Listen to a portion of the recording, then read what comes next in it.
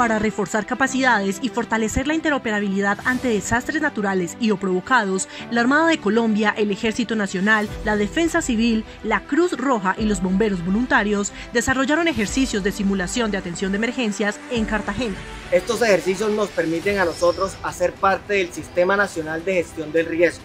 el cual articula cada uno de los miembros de las fuerzas militares y los cuales nos permite desarrollar operaciones en búsqueda y rescate en cualquier sitio del país. En el área marítima se simuló una emergencia ante el naufragio de un buque, la aviación naval realizó una evacuación helicoportada y en tierra se desarrolló un ejercicio de búsqueda y rescate en estructuras colapsadas. La importancia de la realización de estos ejercicios es que nos permite realizar un intercambio de expertos